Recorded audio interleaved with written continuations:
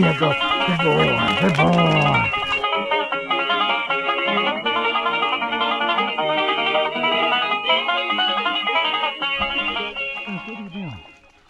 Welcome to the Bird Bum. The dogs and I are back in the lower peninsula of Michigan this year looking for grouse and woodcock. Based on the drumming survey, unfortunately, grouse numbers are supposed to be down this year, and that would be consistent with our experience this year. We didn't find as many grouse this year as we did last year. However, there were plenty of woodcock, and that was actually perfect for some of the young dogs I'm trying to get on birds. On this first morning, I took out Boogie and Y, and Y is a little two year old female with almost no wild bird hunting experience at all, so she's got quite a bit to figure out. But even on this first hunt, she makes good progress. As you can tell, Y gets pretty hyped up. Now, Y is not a big dog, but she is athletic and, and can be, if she's confident, pretty stylish on point. In fact, the Bird Bum logo, the dog in that logo, is Y from a picture I took of her when she was 14 months old. About 10 or 15 minutes into our hunt, I got a GPS alert that Boogie was on point about 80 yards away.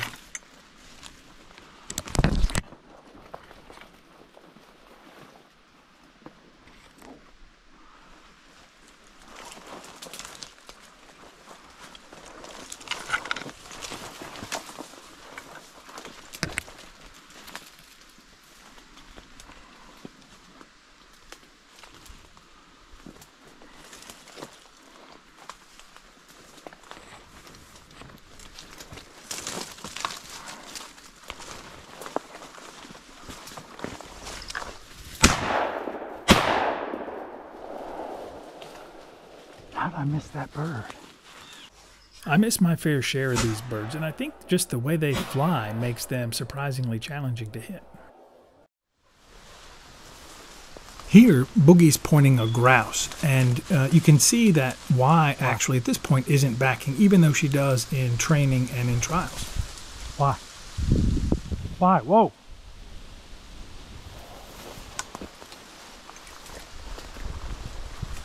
Wh- Whoa. Why?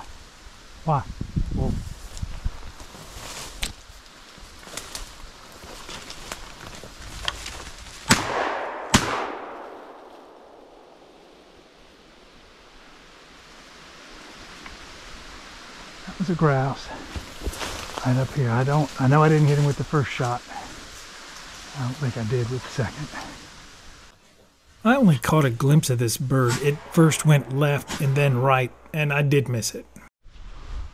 On this bird that Boogie had pointed, Y finally started backing, and and I was so enamored with her backing that I really didn't pay enough attention to the bird.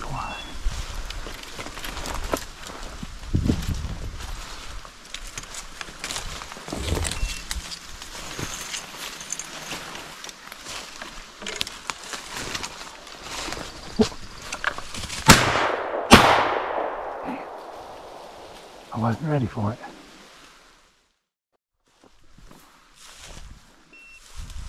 Here we have Boogie pointing and Y backing again, and for some reason, once I got into this, both dogs came off point.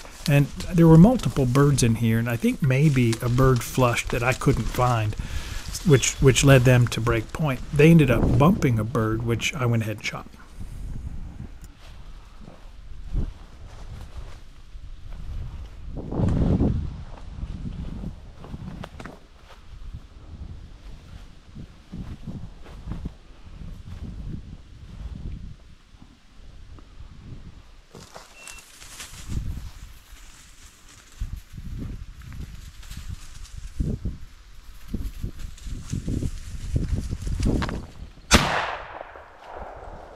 So Y found this bird on the ground, and unfortunately, she just chomped it hard a couple times and came back to me without the bird. And she retrieves quail just fine, but um, it's not uncommon. I've had dogs in the past that their first encounter with woodcock, they are reluctant to pick them up. So that was it for our first morning, and I think we had some pretty good bird contacts for Y, and I know Boogie had a good time. And ultimately, we ended up with two woodcock in the bag, some empty shotgun shells, and what I thought was a interesting looking rock. This trip marked the one year anniversary for me truck camping during these hunting trips. And the reason I started doing this, or the reason I had the idea to begin with, was to make these trips less expensive. I'm kind of headed towards retirement and I'm thinking, you know, less expensive ways of doing things. And usually housing was one of the more expensive parts of my trip.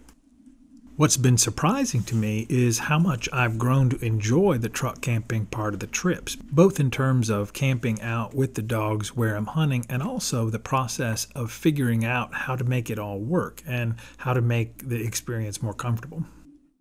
In terms of the dollars and cents of it all, I kind of kept track of my costs this time, and I brought my own food with me. So, really, my only cost, or the main cost, was the gas to get to and from Michigan and around Michigan while I was there, and also the cost of a hunting license. Of course, there have been some upfront costs, but nothing like they would have been for an RV or even a camper. But again, I think the biggest benefit for me of this change has not been so much the saved money, although that's positive for sure, but it's the how much it's improved my trips overall. And and something there's something I have enjoyed about doing it on a small scale as well. Okay, for the rest of the hunting trip, it pretty much rained off and on the entire time, and we even got caught in a bad thunderstorm at one point, but it also led to more camp time.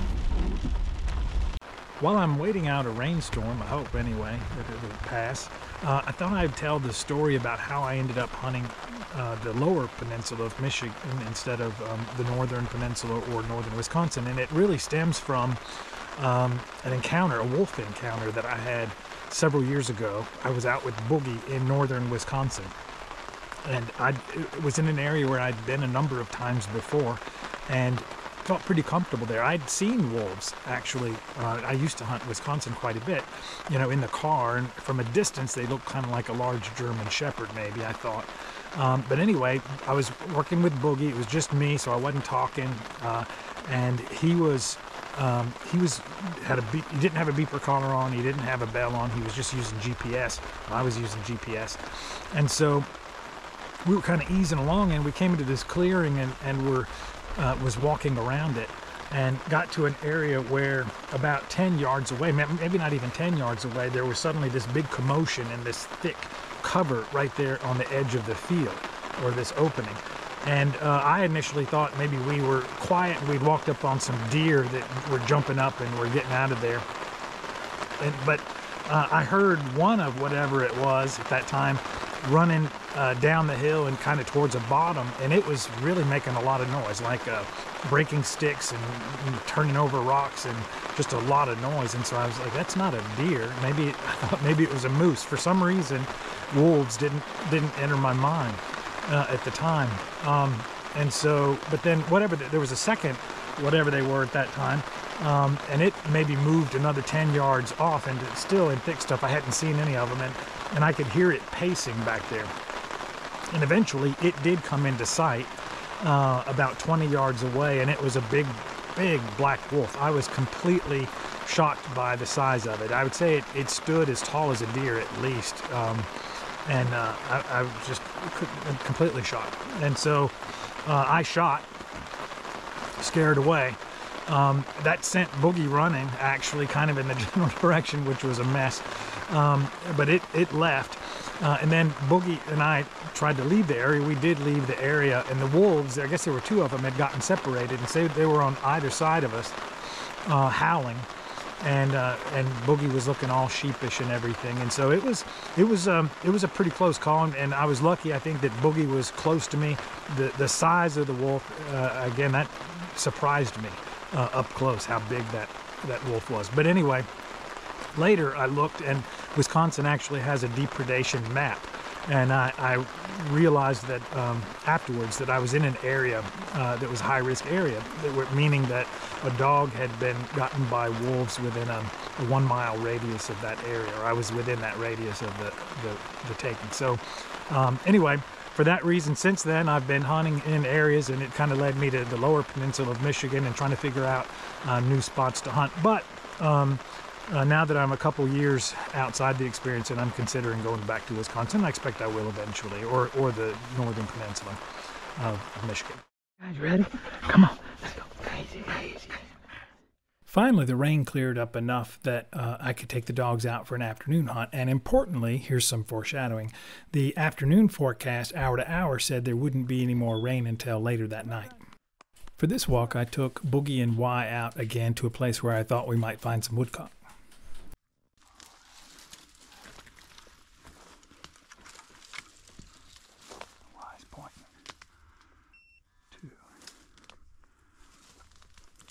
When I got to Boogie and Y on this bird, I noticed that Y looked like she was pointing the bird also, which was a good step in the right direction for her.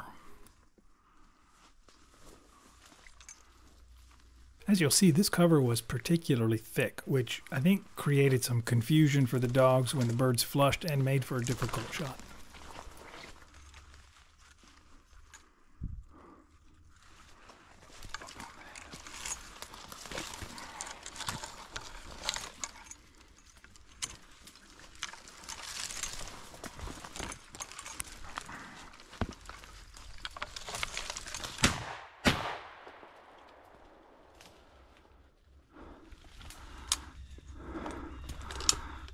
I didn't have a good shot at those.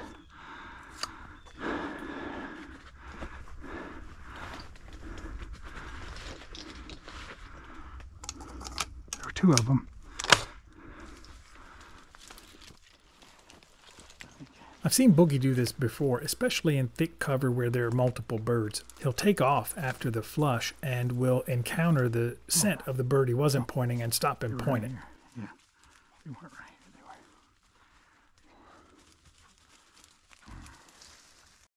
A little later, I found that I actually connected with one of these birds and was able to find it.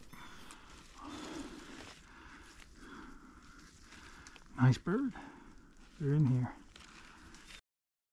So for me, this was the best part of the whole hunt. Y has gone on point on her own, and Boogie has come up to the right and is backing. So if there's a bird in here, this would be her first wild bird.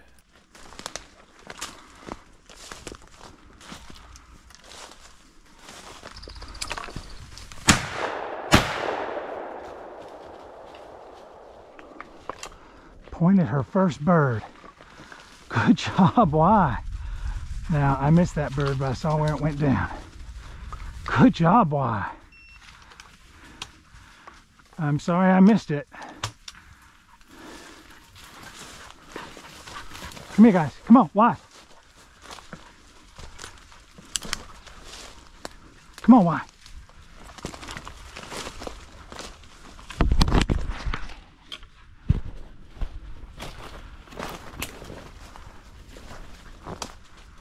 Come here, Y? Come here, Y? Come here. Try it. Right here, Y? Y? Up here. Come on, let's go. Come on, Y?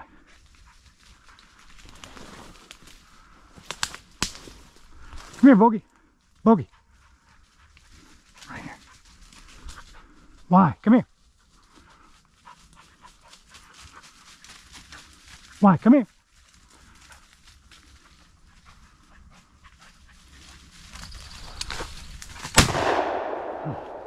Got it that time. Come here, Boogie. There you go. Come here, Boogie. Come on, Boogie. Boogie. In a second here, I try really hard to get Y to retrieve this bird, and so I apologize ahead of time for how loud that is. I saw it. Come on, Y. There you go. Come on, Y. Here you go. Come, Y. Come. Here you go. Y. Come. Come. Y. Come. Y. Come. Boogie. Come on. Come on, Boogie. Come on, Boogie. Here you go. Come here, Boogie. Hold it, buddy. Hold it, buddy. There you go. Good boy. Good boy. Wow. Y. There you go, baby. That's your first bird. You got to work on retrieving it. That's a nice big bird. Good job, Y. Good girl. Come here. Come here, Y. Look at that. That's your first bird. Good girl. That's your first bird. Yeah, good girl. All right. All right. Good girl. Okay. On the heels of Y's first bird, it looks like we might get caught by an unexpected lightning storm. We're about two miles away from the truck still.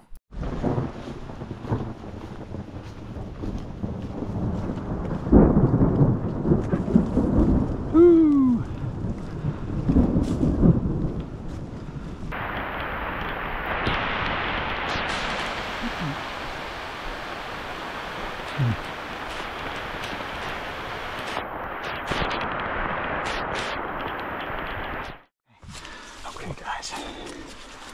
No, Boogie, leave those. Leave those alone. Yeah. All right. Guys, that was kind of hairy there for a while. Uh, glad we're back. And now that we are back, I think it was worth it. Why? Oh, now Y's onto something. She's seeing birds everywhere. Next morning, there was a break in the weather, and I was able to get Hank and Y out for a short run. Here, I'd gotten GPS alerts for both Y and Hank, and when I got there, I found Hank on point and Y backing.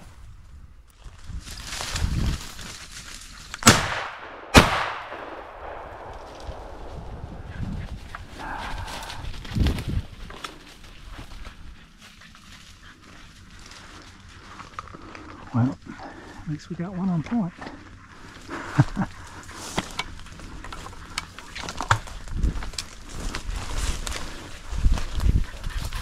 There's my second shot. Good job, Hank. Good job. Sorry, buddy. Come on, Hank. Hank has our last bird of the trip here on point, and you might have noticed at the beginning that I tried to call him off his point. Initially, when I came up, he was kind of flagging and didn't look very confident about where the bird was or if there was a bird. So I called him off, and he relocated and became much more staunch, which indicated to me that there was definitely a bird here.